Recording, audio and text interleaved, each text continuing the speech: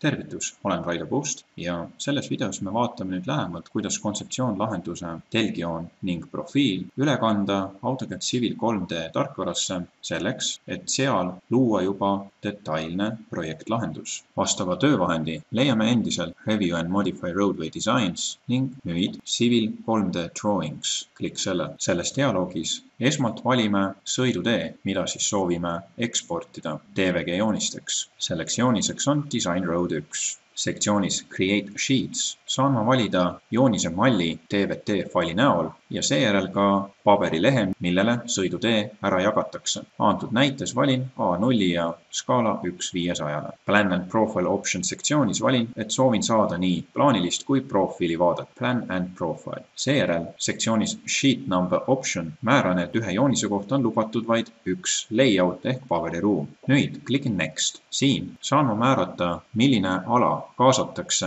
minu koridor mudeli ümbrusest. teisisõnu, mind huvitab ainult sõidu sõidude vahetu ümbrus, sest just selles mahus ma ka detailset projekti tegema asun. see sinine ala määrabki vaikimisi sõidutee puhvertsooni ja hetkel on see märgitud kui sada meetrit. seejärel klikin taas Next, saan valida joonise malli jällegi ning ka asukoha, kuhu minu joonised luuakse. klikkides vastaval kataloogi ikoonil saan asukoha ümber muuta. klikin Save. lisaks joonistele luuakse ka lehtede grupp ehk siis sheetset, mille kaudu on lihtsam jooniseid hallata. lisan linnukese View drawings in AutoCAD Civil 3D after creating ja seejärel klikin nupul Generate alustatakse AutoCAD Civil 3D jooniste loomisega. peale jooniste loomist käivitatakse nüüd automaatselt AutoCAD Civil 3D tarkvara ja avatakse ka vastavad joonised. Sheetset Manager võimaldab mul klikkida erinevatel sõidutee lehtedel, et näha automaatset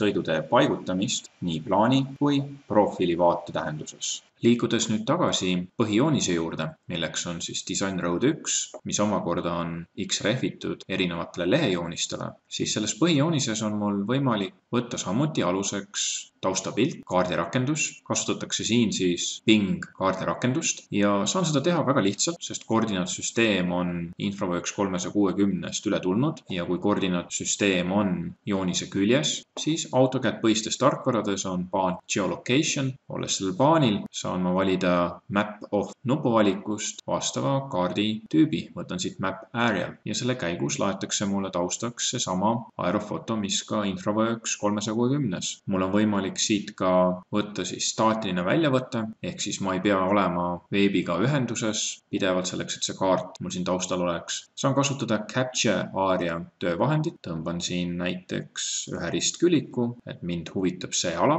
seejärel võin lülitada välja kaardi üldkuva, võtan map off ja nüüd, kui ma selle joonise salvestan, näiteks Ctrl S-iga ja liigun ühele joonistest, mis siis kaasab minu põhijoonist, siis tüüpiliselt on mul vaja uuendada X-rehve ja taustapilt tuleb ka nendesse vaadetesse automaatselt. see teeb detailse joonise alustamisprotsessi märksa lihtsamaks, sest meil on väga palju infot üle kantud.